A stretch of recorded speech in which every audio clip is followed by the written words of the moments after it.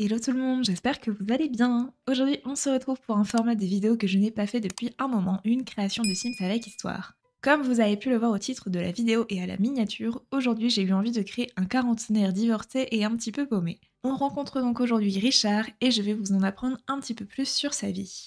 Personne n'a envie de recommencer à zéro passé 40 ans. Et pourtant, c'est exactement ce que Richard doit faire. À 42 ans, Richard Ferguson repart à zéro. Plus de jolies maisons dans la banlieue de Newcrest, plus de voitures de sport de 450 chevaux, et surtout, plus de femmes. Après 13 ans de mariage avec Lucie et un divorce houleux, il est ruiné et paumé. Ce divorce, il ne l'a pas vu venir. C'était un matin comme les autres. Il a repoussé trois fois la sonnerie de son réveil et a fini par se lever, grognon, comme à son habitude. Il a pris sa douche, enfilé un costume mal repassé et a dévalé les escaliers en remarquant son quart d'heure de retard sur l'horloge du couloir. En arrivant dans la cuisine, il a rempli son thermos de café précipitamment en renversant la moitié à côté et a attrapé ses clés de voiture sur le plan de travail. En avançant vers la porte, il s'arrêta net. Lucie se tenait dans l'entrée, à côté d'une valise et le visage blême.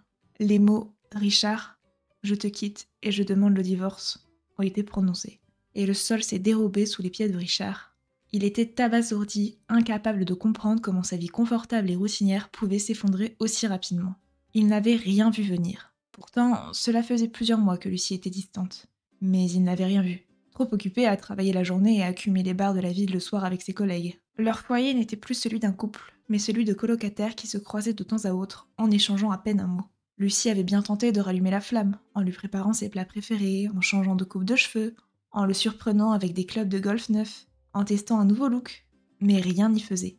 Mari la regardait à peine et ne la traitait plus comme sa femme, mais comme une auxiliaire de vie. Il n'aurait alors pas dû être si surpris en entendant le mot divorce. Les mois qui ont suivi ont été une série interminable de confrontations, de négociations et d'émotions dévastatrices. Lucie, qui avait été sa compagne pendant tant d'années, semblait être devenue une étrangère déterminée à repartir de zéro. Puis le divorce fut prononcé, et Richard dut faire face à la précarité de sa situation. Il avait perdu la maison, la voiture et une grande partie de ses économies. Incapable de maintenir un tel train de vie, il a pris la décision difficile de retourner vivre chez son père, un homme généreux qui aspire à une vie de famille épanouie. Walter Ferguson, un homme au visage fatigué par les années de dur labeur, avait passé la majeure partie de sa vie en tant que conducteur de train. Sa carrière avait été marquée par les innombrables kilomètres parcourus, les paysages traversés et les histoires échangées avec les voyageurs. Cependant, après des décennies de loyaux services, Walter avait pris sa retraite et s'était retiré dans la tranquille ville de San dans un petit appartement du centre-ville. La vie de Walter avait pris un tournant difficile lorsqu'il avait perdu son épouse bien-aimée, Evelyn, quelques années auparavant. Depuis, il avait trouvé du réconfort et de la compagnie auprès de sa chienne fidèle, Annie, un mini schnauzer au pelage gris foncé. Annie était plus qu'une simple compagne pour Walter. Elle était son rayon de soleil dans les jours sombres et sa source de joie inépuisable. Proche de sa famille, Walter avait toujours été un père aimant. Lorsque son fils Richard avait traversé un divorce difficile, Walter n'avait pas hésité à ouvrir les portes de son appartement pour l'accueillir. Il faisait tout son possible pour remettre son fils sur pied et lui redonner la joie de vivre. Il espérait qu'avec ce nouveau départ, il se reprendrait en main et trouverait la femme qu'il lui faut et surtout celle qui lui donnerait des enfants. Walter rêvait de devenir grand-père, un rôle qu'il envisageait avec impatience. Il imaginait des après-midi passés à jouer avec ses petits-enfants dans le parc, partageant des histoires sur la compagnie ferroviaire et ses blagues de papier.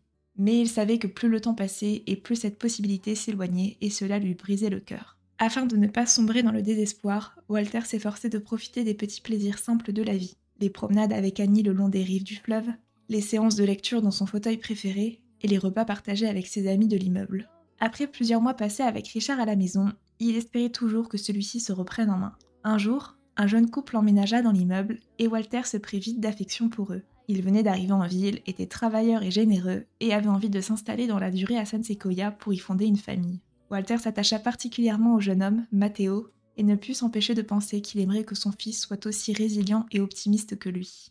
Et voilà, c'est tout pour cette toute petite histoire. Elle était assez courte, mais j'ai pris beaucoup de plaisir à l'écrire. Je me suis dit que ce serait sympa de découvrir un petit peu euh, la vie des voisins de Matteo, le personnage de mon Let's Play Family Dynamics. Je trouve que c'est toujours sympa d'explorer un peu les histoires des personnages secondaires des Let's Play autrement que pendant les épisodes où on n'a pas forcément l'occasion d'en apprendre tant que ça sur eux finalement. Donc je me suis dit que c'était l'occasion. J'ai pas utilisé beaucoup de CC, mais pour les quelques CC utilisés, je mettrai bien évidemment les liens en barre de description. Merci d'avoir regardé cette vidéo, j'espère qu'elle vous a plu. Si c'est le cas, n'hésitez pas à laisser un j'aime, un commentaire, à vous abonner, ça fait toujours très plaisir. Et moi sur ce, je vous dis à la prochaine, prenez bien soin de vous et à très vite. Ciao